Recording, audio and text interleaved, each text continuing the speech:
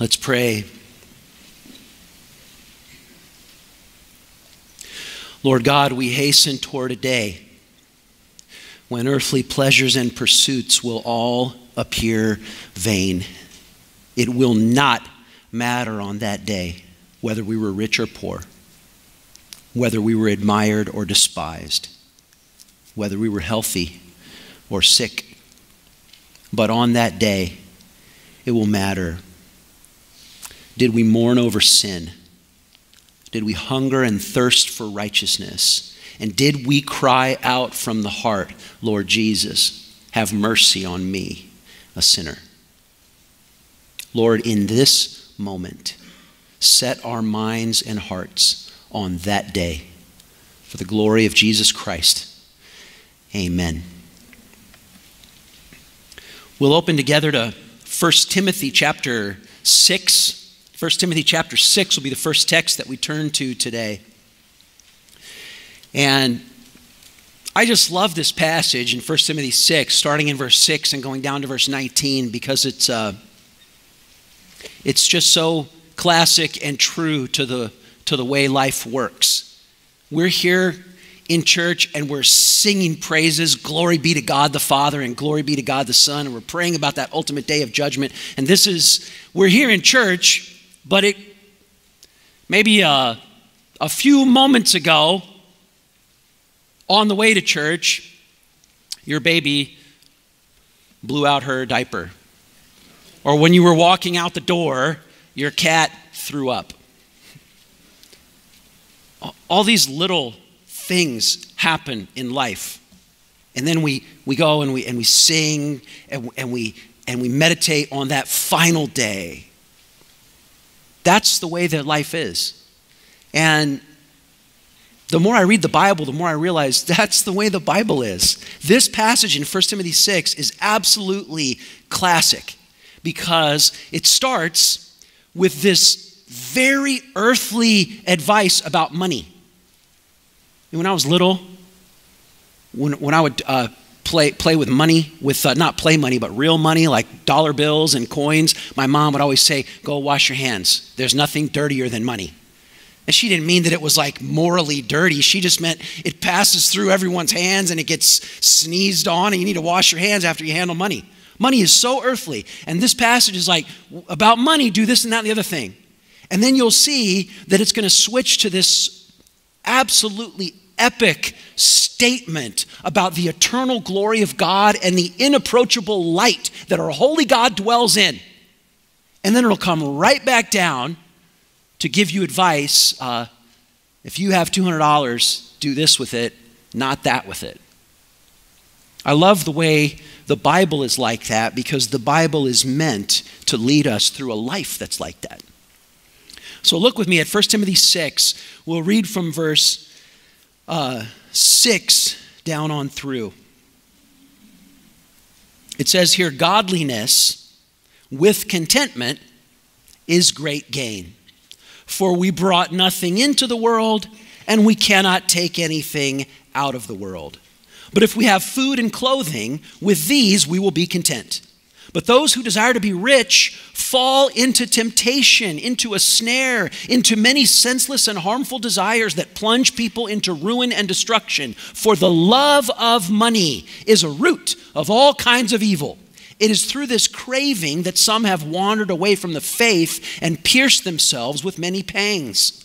But as for you, O man of God, flee these things. Pursue righteousness, godliness, faith, love, steadfastness, gentleness. Fight the good fight of faith. Take hold of eternal life, for which you were called, and about which you made the good confession in the presence of many witnesses. I charge you in the presence of God, who gives life to all things, and of Christ Jesus, who in his testimony before Pontius Pilate made the good confession to keep the commandment unstained and free from reproach until the appearing of our Lord Jesus Christ, which he will display at the proper time. He who is the blessed and only sovereign, the King of kings, the Lord of lords, who alone has immortality and who dwells in unapproachable light, whom no one has ever seen or can see. To him be honor and eternal dominion. Amen. As for the rich in this present age, charge them not to be haughty, nor to set their hopes on the uncertainty of riches, but on God, who richly provides us with everything to enjoy. They are to do good, to be rich in good works, to be generous and ready to share, thus storing up treasure for themselves as a good foundation for the future, so that they may take hold of that which is truly life. I just love how this text takes us from the cosmic heights of Christ's lordship and the inapproachable holiness of God down to the small decisions we make with $40 here and $60 there. How do we think about and manage money? And have we, have you figured out how what you do with $60 here and $20 there actually relates to the God who dwells in unapproachable light? Or do we just do with money what our parents did with it, or what the people around us do with it? I think we're, I, I think that we are more comfortable with sins of greed and pride in possessions and selfish acquisitiveness than, than we should be. Because we have a blind spot that everyone around us has, and we just tend to use money the way that everyone else around us does. Therefore, we need godly guidance. And that's what I've tried to prepare from God's word this morning is a, a, sermon, not, a, not an exposition of one passage, but more of a topical understanding to give godly guidance in this area of money and finances in order to help you uh, understand how and what you do with $20 here and $60 there relates to God and His calling in your life. So I um, want to give you five, uh, five pieces of godly guidance uh, about money. Number one,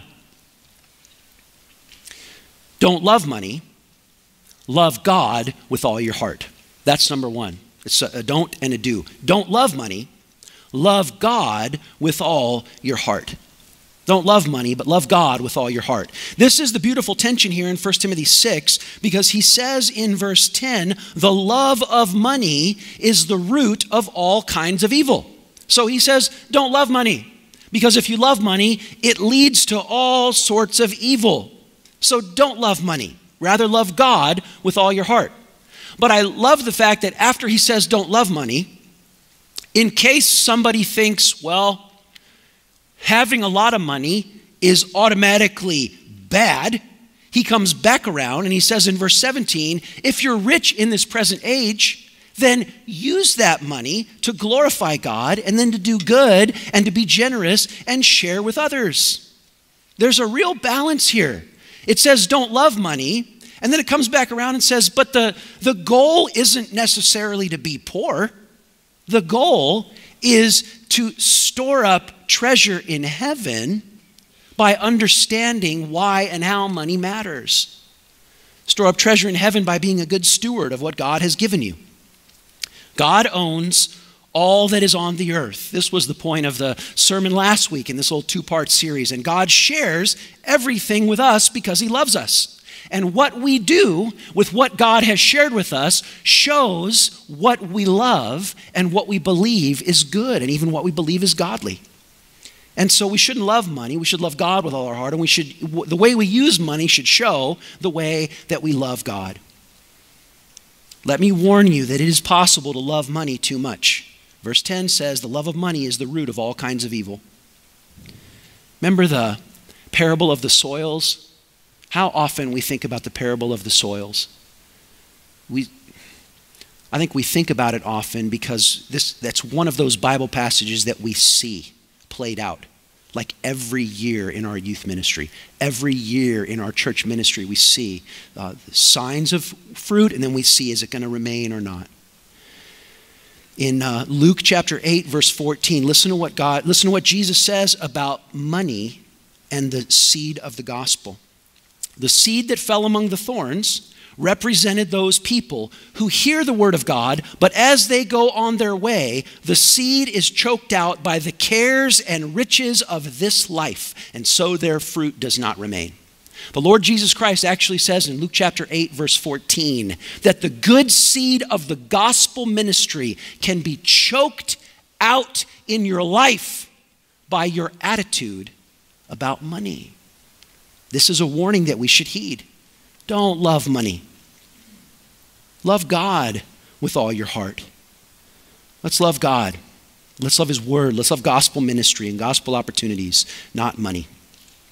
Well, that's the first piece of godly guidance. The second is this don't be anxious about money, but trust God to provide for you. Don't be anxious about money, but trust God to provide for you. Don't be anxious about money, but trust God to provide for you. And the, the first point is don't love money. And the second point is don't be anxious about money. And the reason these go together is because, have you ever thought about this? Have you ever thought about this? Love and anxiety go together. Love and anxiety go together like chocolate and peanut butter, like coffee and kringle. Love and anxiety go together because why would you be anxious about something you don't care about. The things that we are most anxious about are the things, and always the things, that we love the most.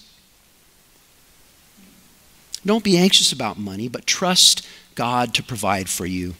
I suppose the place to turn here is that wonderful Jesus saying in Matthew chapter 6 about anxiety over finances. Matthew chapter 6 starting in verse 24. Matthew chapter 6, uh, starting in verse 24. He says, uh, after saying, Don't lay up treasures on earth, but lay up treasure in heaven, he says in verse 24, No one can serve two masters. For either he will hate the one and love the other, or he will be devoted to the one and despise the other. You cannot serve God and money. Therefore, I tell you, do not be anxious about your life, what you will eat or what you will drink, nor about your body, what you will put on. Is not life more than food and the body more than clothing? Look at the birds of the air. They neither sow nor reap nor gather into barns, and yet your heavenly Father feeds them. Are you not of more value, more value than they? And which of you, by being anxious, can add a single hour to his span of life? And why are you anxious about clothing? Consider the lilies of the field, how they grow. They neither toil nor spin. Yet I tell you, even Solomon in all of his glory was not arrayed like one of those. But if God so clothes the grass of the field, which today is alive and tomorrow is thrown into the fire, will he not much more clothe you, O you of little faith? Therefore, don't be anxious, saying, What shall we eat, and what shall we drink, and what shall we wear?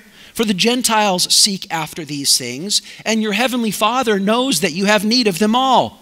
But seek first the kingdom of God and his righteousness, and all these things will be added to you. Jesus here is saying very clearly don't be anxious about money, trust God to provide for you. Notice the therefore in verse 25, the close connection between serving money and being anxious about money, between serving, loving, being devoted to money, and then being anxious about it because we're anxious about what we're devoted to. We're anxious about what we love. Christian, God is calling you here to trust Christ, trust God's character. God's eyes are on you, God's hand can always reach you. God knows and He cares about you. God has knowledge and care of the birds of the air and the flowers of the field. And God has even more tender knowledge and care of you. Trust God. God's name, Genesis 22, verse 14, God's name is Jehovah Jireh, the Lord who provides. The Lord who provides. That's the very name of God. The providence of God is an essential attribute of the deity. Quick definition of providence God's providence is that continual exercise of the divine energy whereby the Creator preserves all of his creatures and is operative in all that comes to pass in the world and directs all things to their appointed end. Providence is one of the attributes of God, like his holiness, like his justice, like his love. I don't, I really can't remember hearing one of you say, God isn't holy. We don't deny God's attribute of holiness. But how often? I'm, I'm only hurting you because I love you. How often have I seen or heard you doubt God's providence?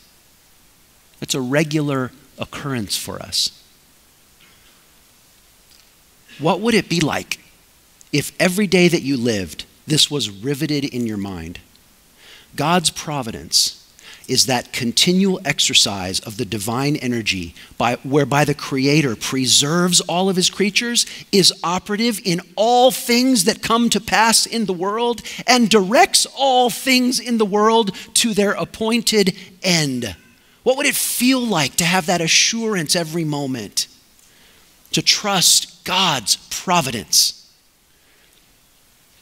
And our problem is that though we think God is wise in the small incidents when we need something, we immediately know that our wisdom about what we need and when we need it is correct. And so God's providence must, in this case, be misguided. But, but trust, trust puts the outcome in God's hands. Not what we would have, but what God would have for us when you're choosing a shoe for your little one to wear, you don't pick the first shoe that she points at or cries about. You pick the one that fits her foot so she can do what she needs to do. Not what we would have, but what God would have for us. This is God's providence in our life. Trust God's character. His eye sees you, His hand can reach you. No matter how broke you are, His hand can provide for you. Don't be anxious about money, but trust God's providence. Well, there's a third bit of godly guidance that I hope is helpful for you, and that's this don't be lazy, work hard for God's glory. Don't be lazy, work hard for God's glory. I suppose the classic of statement of this is the Sabbath command. Because the Sabbath command is a command to rest one day out of seven. But actually, in the, in the way that the Sabbath command is described in Exodus, what it says is this You shall work six days, and you shall rest one day out of the seven. God creates us in his image to work. Take God's providence. There's a small way that we mirror that. When we exercise dominion and when we work and when we take care of the things around us, don't be lazy. Work hard for God's glory. Hard work is good, hard work is a gift. Hard work is meant to keep you from poverty. Listen to what the Proverbs say about this. Proverbs 28, verse 19. Whoever works with whoever works his land will have plenty of bread. Whoever follows worthless pursuits will have plenty of poverty. You hear that? Proverbs 28 19. Plenty of bread, plenty of wealth, or plenty of poverty. And the difference is whether you work hard on your land or whether you follow worthless pursuits. There are too many men in our community and in our nation who are following worthless pursuits and not demonstrating a significant and solid and consistent work ethic for the glory of God. Proverbs 13, verse 4 says, The soul of the sluggard craves and gets nothing, while the soul of the diligent is richly supplied. The soul of the sluggard craves but doesn't get anything, but the soul of the diligent is supplied. And then the way that he says, let's look at the ants in Proverbs chapter 6. Not like your Aunt Flo, but the little ants that walk around.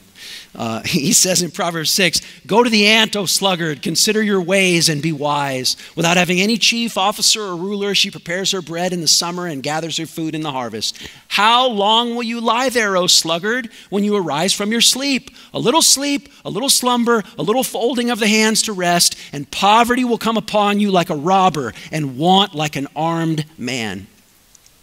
The biblical uh, story about personal economics, it seems pretty clear to me that poverty is the sort of natural state and that it requires work to gain uh, to, to, to, gain an entrance out of that poverty and to, and, and to gain what we need. And so God calls us to work. Scripture insists on hard work. And Scripture even says that if you work hard, you should enjoy the fruits of your labor. We don't work hard because we love money. But if we work hard, we make money and we get to use that money to store up treasures in heaven, to bless the people around us, and to enjoy the life that God's given us.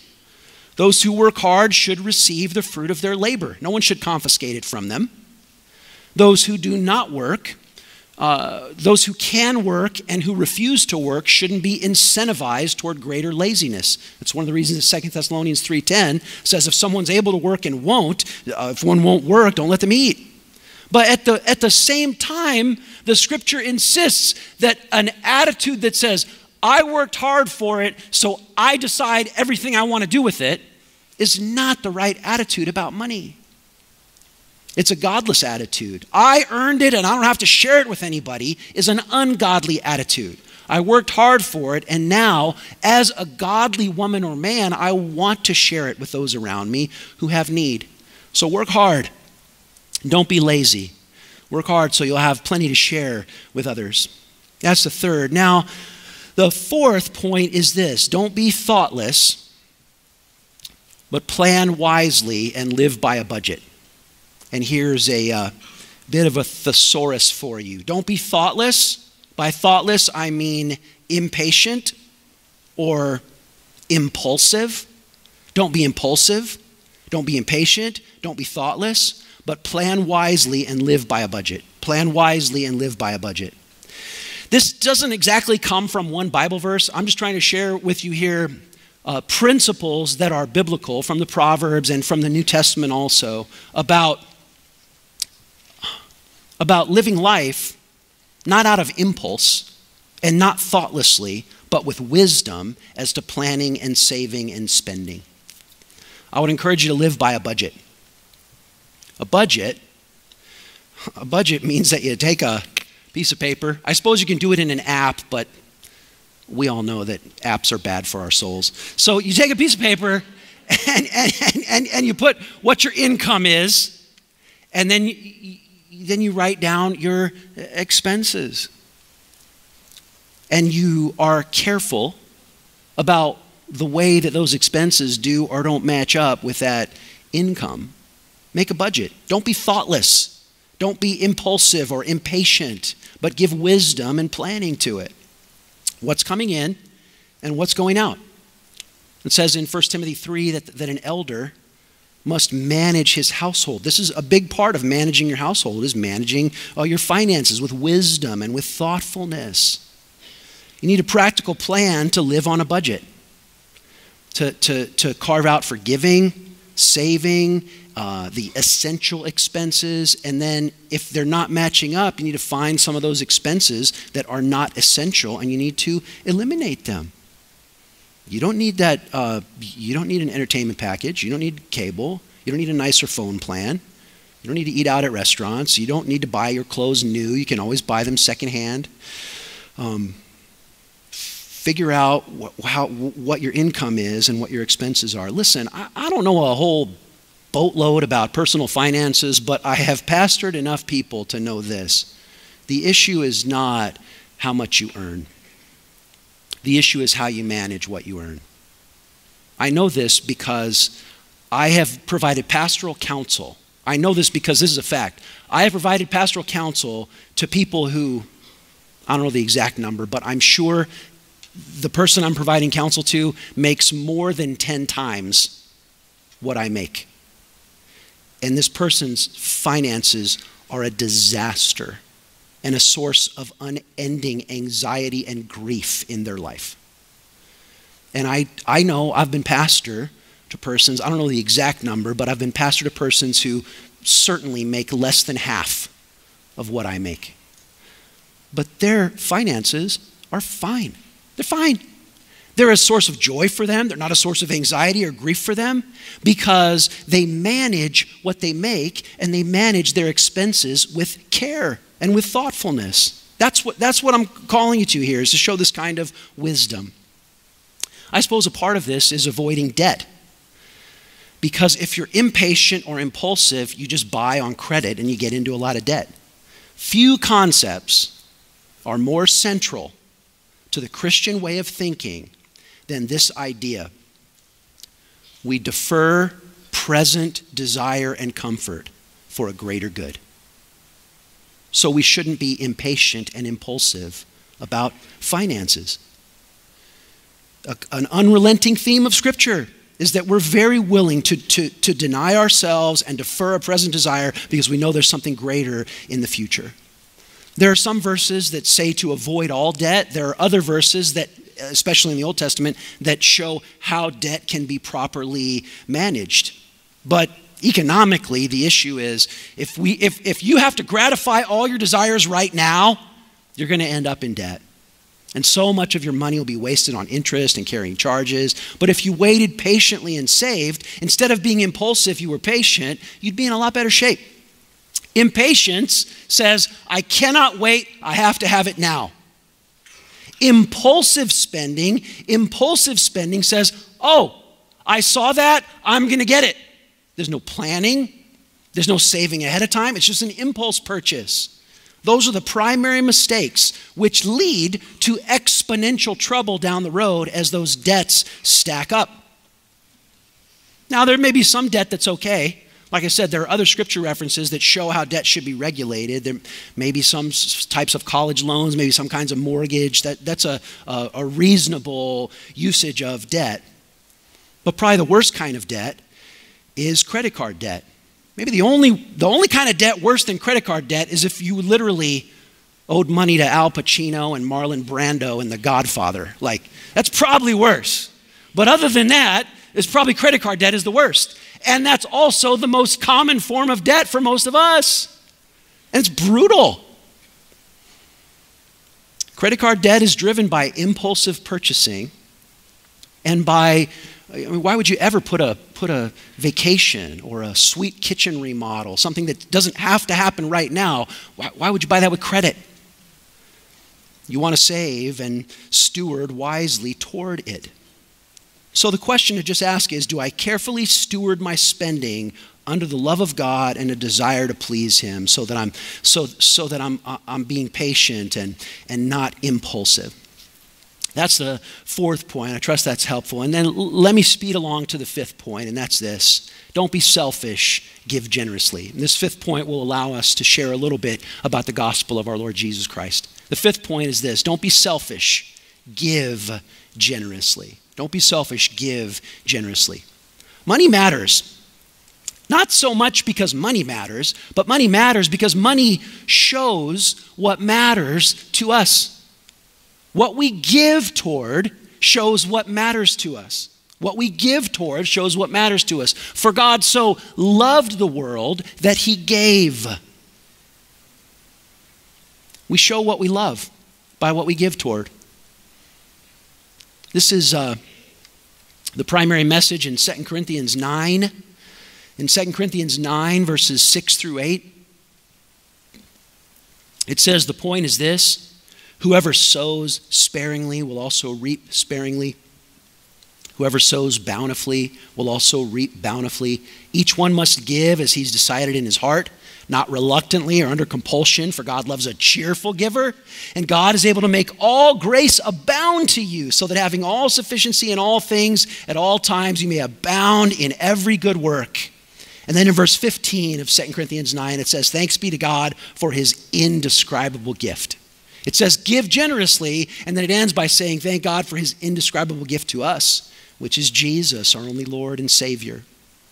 So don't be selfish, give generously. And the just so you know, the New Testament pattern for giving, the regular New Testament pattern for giving is giving that is planned and proportional.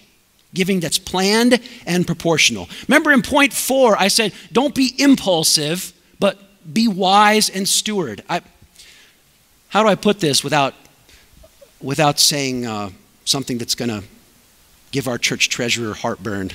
um, we, when we collect the offering, uh, it's not impulsive giving that we're after. Just reach in and throw something in there. It's planned, proportional, regular giving. That's the New Testament pattern. That's what it says here in 2 Corinthians 9, where it says you give as God has provided for you. It says the same thing in 2 Corinthians 8. It probably says it most clearly in 1 Corinthians 16, where he says, uh, where it says, Now concerning the collection for the saints, as I directed the churches of Galatia, so also you on the first day of the week, each of you is to put aside and store up as he has prospered, so that it may be collected. So this is where we see it's planned and it's proportional. So this is like this idea of the tithe, 10%. We're not, we're not under an Old Testament law to tithe. We're not under the, uh, the theocratic economic program where we have to give 10%. But 10% is a good figure to start with because that's proportional. So if you if you know that you're you're going to make about $5,000 a month, you would try to find a way to give about $500 a month. Or if your income for the week is $400, you'd figure out a way to give $40 on the first day of the week to the Lord's work in the church. So, not giving that's thoughtless or impulsive, but giving that's proportional and planned. The reason we need to give um, is because God has loved us, and this is how we show our response to that love. And by the way, it's the purpose of giving that's why it's good to live on a budget, why it's good to not have a lot of debt. Uh, debt is usually driven by discontentment which comes from living selfishly. Freedom and joy comes from living selflessly and a contentment that's found in God. Everything shrinks and becomes less fun when self looms large. But everything opens up with joy and generosity when God appears big and self appears small. It sounds crazy to those who don't get it, but to those who get it, this is what Jesus means when he says, Give, and it'll be given to you. Good measure, pressed down, shaken together, running over. It'll pour over into your lap. With the measure with which you're given, it'll be given to you. This is why Jesus says, It is more blessed to give than to receive. Acts 20, verse 35. It is more blessed to give than to receive. Miserly people are miserable people. Generous people are joyous people. It is more blessed to give than to receive. Think about it this way it's more blessed to give than receive. Question it's not a trick question. Who is the most blessed being in the universe? That would be God. It is more blessed to give than to receive. The most blessed being in the universe is God, who gave the universe its existence and then gave his only son to redeem the world. And so, as we become godly, as we become godly, we enter into the blessedness of the divine life, which is a life of joyful self giving. This is this is in Acts chapter 2, in Acts chapter 4, they preach the gospel and people get saved. And as soon as people get saved, they start sharing their money with each other. Not because they're pressured to, not because they're arm twisted to, but because when people get saved by God, they begin to become like God. And what they used to call blessing, selfish acquisition, is no longer blessing for them, but now blessing is this agape love of Jesus Christ filling and then overflowing in their life. It is more blessed to give than to receive. It is more blessed to be saved by grace than to be saved by works. It is more blessed to be loved by God first than to try to gin up whatever kind of love and sacrifice I can do in my own flesh.